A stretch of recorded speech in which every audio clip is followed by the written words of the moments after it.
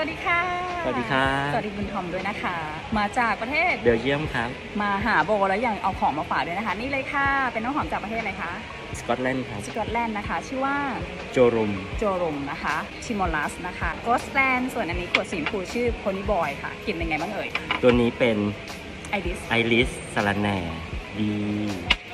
ไม่ฝุ่น แล้วมีความสะอาดด้วยสดชื่นทันสมัย หอมค่ะ ส่วนตัวนี้นะคะก็เป็นกลิ่นคานาบิสค่ะ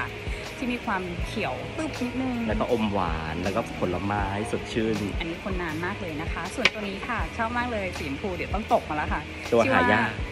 ดูบาร์ใช่ เป็นรูบาร์บที่จริงเขียวสดหวานเปรี้ยวแล้วมีความเป็นผลไม้แล้วติดคน